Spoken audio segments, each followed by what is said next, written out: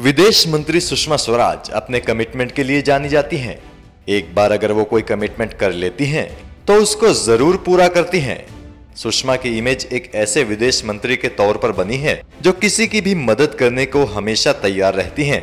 फिर चाहे कोई ट्विटर के ज़रिए ही मदद क्यों ना मांग ले। एक बार फिर सुषमा स्वराज ने ट्विटर के ज़रिए अनुरोध मिलने पर एक भारतीय की मुश्किल वक्त में मदद की।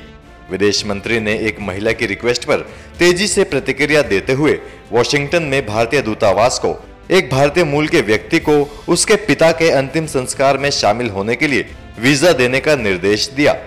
जबकि दूतावास विजयदशमी और मुहर्रम की वजह से दो दिन के लिए बंद है। दरअसल, हरियाणा के करनाल में रहने वाली सरिता टाकरू ने ट्विटर पर विदेश मंत्री से अमेरिका में रहने वाले अपने बेटे को वीज़ा देने की अपील की। ताकि वो अपने पिता के अंतिम संस्कार में शामिल हो सके जिसके बाद सुषमा ने दूतावास को निर्देश दिए। सुषमा ने ट्वीट किया अमेरिका में हमारा दूतावास विजयदशमी और मुहर्रम होने के कारण बंद है। मैंने संदेश भेजा है हम दूतावास खोलेंगे और आपके बेटे को वीज़ा देंगे। विदेश मंत्री के निर्देश के फ़ौरन बाद भारतीय दूतावास ने सरिता से उनके बेटे के कॉन्टेक्ट डिटेल्स साझा करने को कहा ताकि उन्हें तेज़ी से वीज़ा दिया जा सके। सरिता ने कहा कि उनके पति की कल मौत हो गई थी और उन्हें ये जानकर बहुत हताशा हुई कि दूतावास आज और कल बंद रहेगा।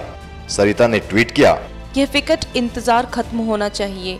कृपया अमेरिका में मेरे बेटे को भारत का वीज़ा दें ताकि उसके पिता का अंतिम संस्कार हो सके। कृपया मदद करें। सहानुभूति की ज़रूरत है। इस पर सुषमा ने ट्वीट किया आपके पति के निधन के बारे में जानकर मुझे दुख हुआ।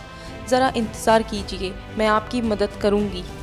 आपको बता दें कि इससे पहले भी कई दफ़ा सुषमा स्वराज ट्विटर पर मिली शिकायतों और मदद की अपीलों पर एक्शन लेकर चर्चा में रही हैं।